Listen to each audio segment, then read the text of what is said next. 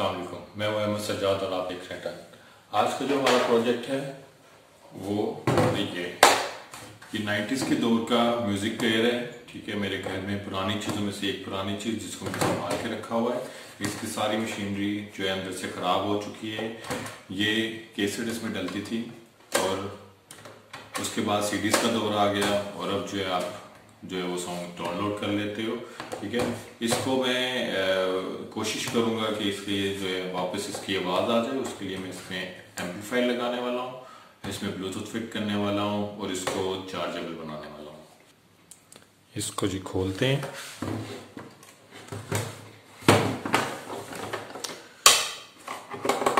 इसके लिए ये जो है वो स्क्रू ड्राइवर इस्तेमाल हो रहा है।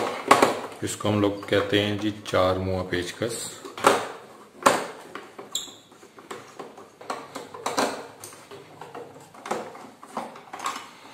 अच्छा ये जिस दौर में आया था ना जब मुझे इसकी समझ आई थी कि ये क्या चीज़ है, तब मुझे ये इस देख के बड़ा अच्छा लगा था कि ये बिजली की बजाय हम लोग इसे सेल पे भी चला सकते हैं और उसके लिए उन्होंने ये कंपार्टमेंट दिया हुआ है।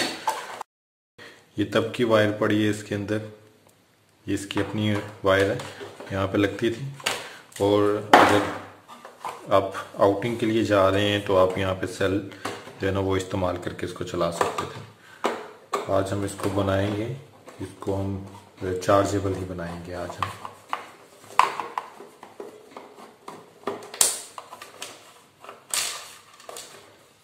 अच्छा इसके स्क्रू तो ओपन हो गए। अब कैसे खुलेगा? ये कुछ ये ये तो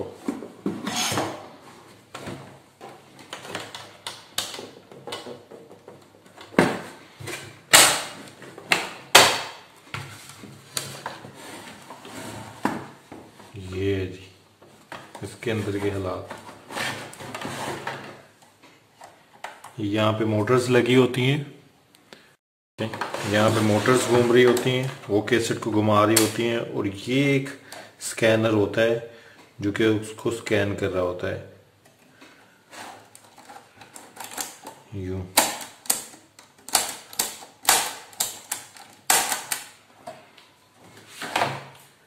अच्छा। हम इस्तेमाल करेंगे ये दो स्पीकर्स और हमारे पास जो एम्पलीफायर है हम जो टोटल किट इस्तेमाल करने वाले हैं, वो है ये एम्पलीफायर अब मुझे नहीं पता कि इसके लिए सूटेबल है कि नहीं है, लेकिन मैं इसको चला के देखते हैं। ये ब्लूटूथ डिवाइस और ये है हमारा बैटरी को चार्ज करने के लिए। उसका बैटरी चार्जर और ये है वो सेल जो कि आपको किसी भी पुराने लैपटॉप की बैटरी से मिल जाते हैं, ये वो है। अच्छा जी, इसमें देख लेते हैं। ये तो है बटन।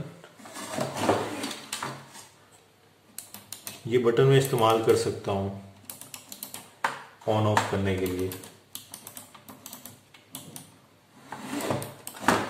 मुझे सही भी लगता है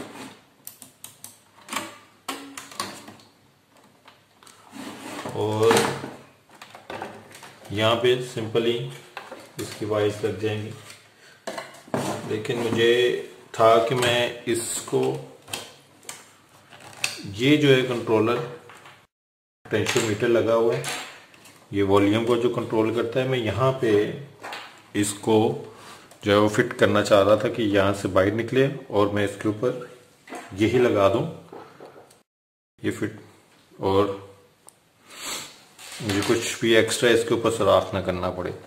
लेकिन अभी मुझे लग रहा है कि मुझे ये इतना अलाउ नहीं करेगा कि मैं इसको निकाल सकूँ। क्योंकि पीछे जाके बहुत ज़्यादा वायरिंग है। अगर मैं हटाऊँगा तो इस सारे को हटाऊँगा। वरना मैं इसको कुछ इस जगह पे लगा सकता हूँ। और यहाँ से एक इजाफी कंट्रोलर दे सकता हूँ।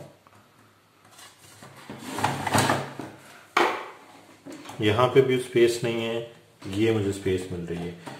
यहाँ पर ही मैं सारा इसका कंट्रोल लगा देता हूँ।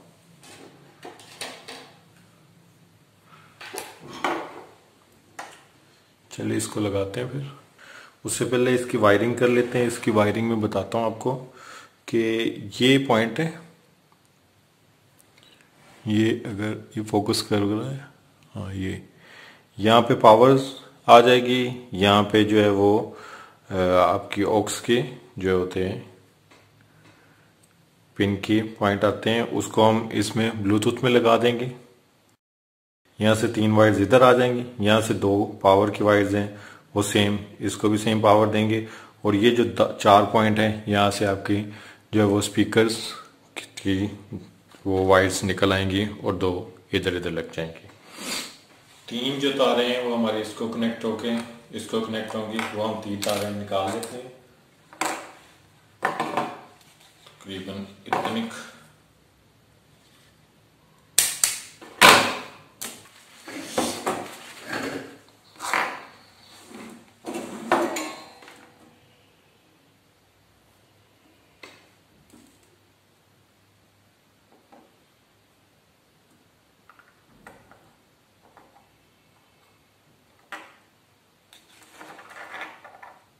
अच्छा जी, हमने इसमें ये जो वाइज लगाई है, ये कलरफुल है। इसमें मैं ये ज़रूर ध्यान रखूँगा कि इसके ऊपर जो है वो एल और जी और आगे बी लिखा हुआ है। लेफ़्ट और राइट और ग्राउंड होता है। इसी तरह इसके ऊपर भी ऐसे ही लिखा हुआ है। उन दोनों तार, उन सेम नाम की तारें जो है ना वो आपस में लगनी चाहिए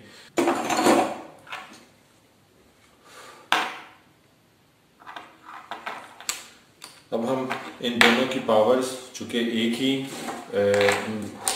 सेल से आनी है, एक ही पॉइंट से आनी है तो इन दोनों की पावर भी हम सेम कर लेते हैं। इसमें भी जो बात ख्याल करने वाली है, वो ग्राउंड के साथ ग्राउंड लगे और इसके पीछे लिखा होता है five V plus five V same इसी तरह इसके भी, इसके साथ लिखा हुआ है, ठीक है, वो पॉजिटिव हो जाता है, जो ग्राउंड है वो नेगेटिव होती है।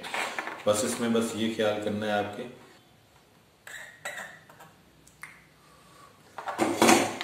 ये ले, इसका कनेक्शन तो हो गया है पूरा। जैसे ये वायर जो थी, ये जो दो पॉइंट चार पॉइंट बताए थे, यहाँ पे स्पीकर्स की वायर लगेगी। ये वाले पॉइंट्स इधर भी लगा लेते हैं। ले। यहाँ तक हमारी वायरिंग कंप्लीट हो गई है।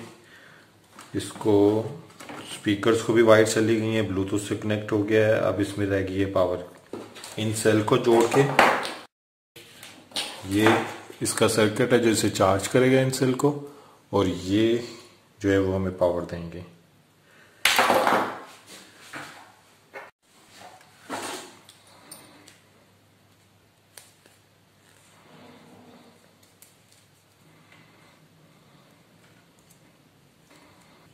ये जो साइड है इसकी, ये प्लस है और ये माइनस है। तो हम यहाँ से जो पॉइंट निकालेंगे प्लस वाला, वो प्लस में लगाएँगे इस साइड पे और यहाँ पे माइनस वाला पॉइंट लगाएँगे। ये हमने इसको वायर्स लगाएँगे और ये मैंने इस पे चार्जर लगाया। टाइप बी का जो है, वो नॉर्मली इसको लगता है। रेड लाइट का मतलब चार्ज कर रहा है और यहाँ पे ब्लू लाइट चलेगी चार्ज हो गया। मैं इसको उतारता हूँ। ये तो हमारा सही चल रहा है। अब हम इसको जो है, वो यहाँ पे रखने वाले हैं। इसके अंदर यूँ लगा देंगे और ये सर्किट जो है, वो भी यहाँ पे सेट कर देंगे। जिससे हम आसानी से इसको चार्ज कर सकते हैं। इससे पहले हमें वायर्स निकालनी पड़ेंगी। इसको जो है, वो जोड़ लेते हैं। ये जो है, हम यहाँ पे लगाने वाले हैं। इसको और ब्लू गन से इसके पीछे चिपका देंगे, इसके अंदर चिपका देंगे और ये जो है इसको हम यहाँ से इसके अंदर ले जाएँगे। और उसके साथ यहाँ पे हमें एक पावर स्विच भी लगाना होगा, जो इसको पूरे सर्किट को एम्पलीफायर को और ब्लूटूथ को ऑन ऑफ़ करेगा।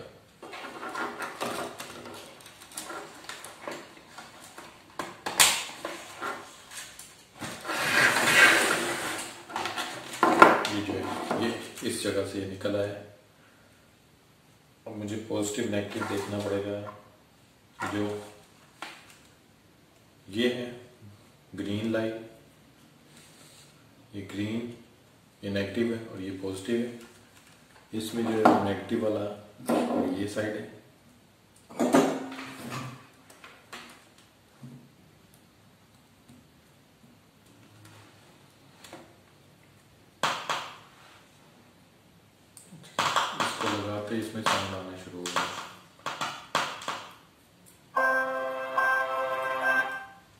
इसको हमने यहाँ से जोड़ा है जब, तब इसी के अंदर साउंड आना शुरू हो गया, इसका मतलब ये कनेक्ट हो गया। ब्लूटूथ इसकी चल पड़ी है। इसको हम यहाँ पे रखते हैं, इसी जगह में यूँ रखते हैं, और यहाँ पे इसको वो ब्लू गन से जोड़ लेंगे। अब हमने जो यहाँ पे पावर स्विच लगाना है, उसके लिए हम एक वायर ये काट लेंगे। ये हमने काट लिया। इसको छील लेते हैं।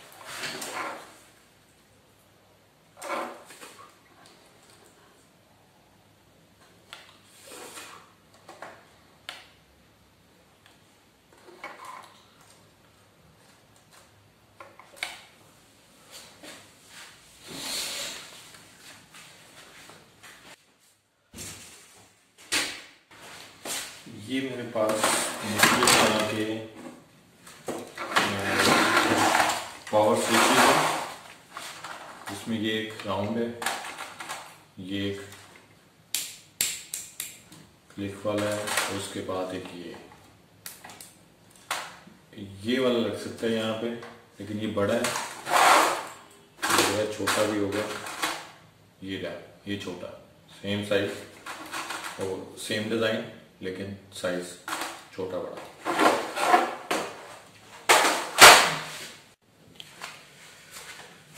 अच्छा स्विच को लगाने से पहले हम ये देखें कि ये जो है एम्पलीफायर ये कहाँ पे लगेगा? उसके लिए हमें यहाँ पे एक सुराख करते हैं। तकरीबन यहाँ पे करके सेंटर इसका मार्क करके दादन इसी के साथ सुराख कर लेते हैं।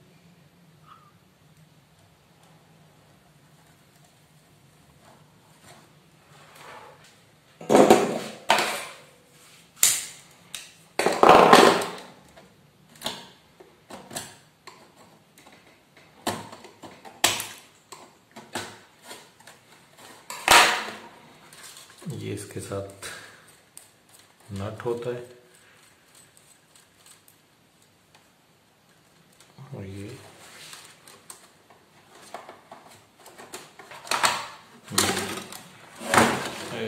इसको यहाँ रखते हैं और इसमें इसको घुमाते हैं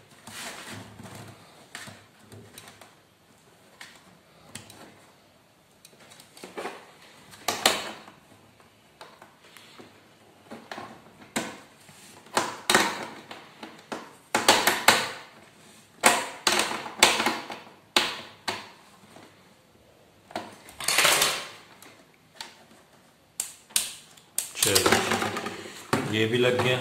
अब इसको जो है वो हॉट ग्लू गन से जोड़ेंगे, लेकिन उससे पहले हम ये जो पावर है, ये स्विच जो है, वो इधर लगाएँगे। यूँ करके।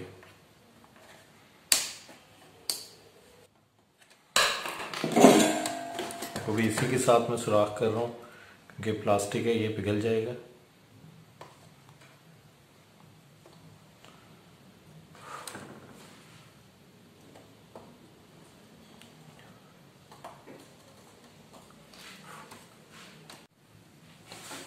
अच्छा सुराख हुआ है इसको फाइन करना पड़ेगा। इसके साथ फाइन कर लेता हूँ।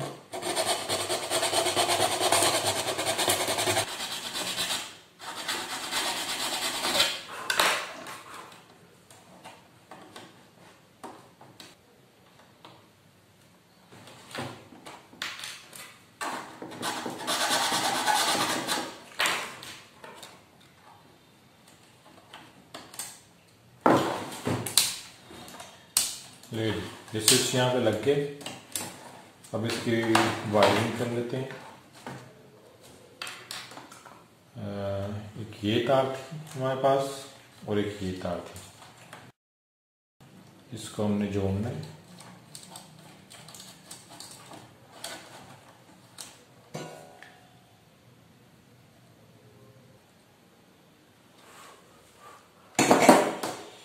ये दो वायर्स इसको लग गई हैं जुड़ गया ये। कनेक्शन हो गया है। यहाँ पे ये स्विच भी लग चुका है, ये उसकी वायरिंग भी हो गई है। अब हमारे पास ये है ब्लूटूथ इसको हम यहाँ पे जोड़ लेते हैं साइड पे, और ग्लू गन से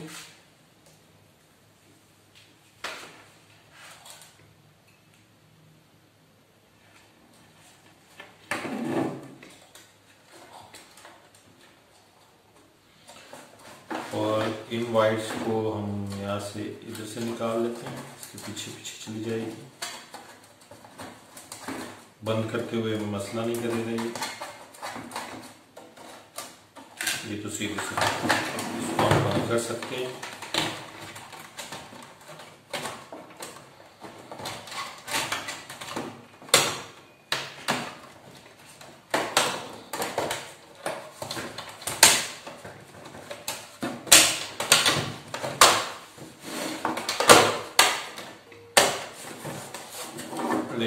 ये यहाँ से बंद हो गया और अब इसको भी ब्लू कर लेते हैं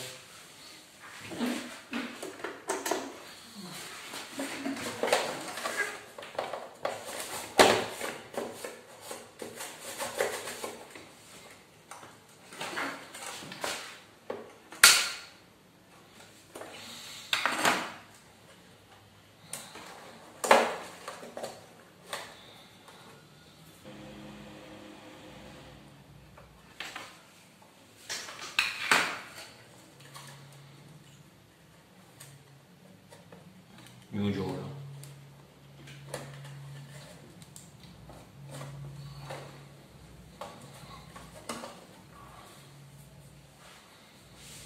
अभी इसको मैं बंद कर रहा हूँ। और ये जो है, तैयार है। ये हमारा पावर स्विच और ये हमारा वॉल्यूम कंट्रोल यहाँ पे मैं इसके नोब्स लगा देता हूँ ये और ये इसकी नोब्स लानी पड़ेगी ठीक है वो हम लगा लेंगे। अभी के लिए इसको चला के देखते हैं। ज़ीरो है। और ये चल गया। अच्छा इसको मैं स्क्रू कर चुका हूँ। अब ये बिल्कुल तैयार है। चलने के लिए ये नॉब जो है, वो पीछे एक वो स्पीकर वो भी खुद बनाए हुए डी वाई किए थे मैंने। ये मैंने उसकी उतारी है अभी फ़िलहाल। क्योंकि मैं इसको चला के देखा है मैंने। कल मैंने इसको बनाया था। और आज मैं इसको आप लोगों के सामने दोबारा लेके आ रहा हूँ। चेक किया था कि ये सही चल रहा है कि नहीं चल रहा। बैटरी जो चार्ज की है इसकी मैंने, वो उसके बाद ये तकरीबन छः घंटे चला है, लेकिन अभी भी बैटरी चार्ज है इसकी। अब इसका म्यूज़िक इसको चला के देखते हैं। अच्छा सबसे अच्छी बात ये कि एक बार कनेक्ट है। बस मैंने इसका पावर बटन ऑन करना है। और ये इसने साउंड दिया अपना चलने का, और ये कनेक्ट हो गई है। इस पर म्यूज़िक प्ले करते हैं। ये।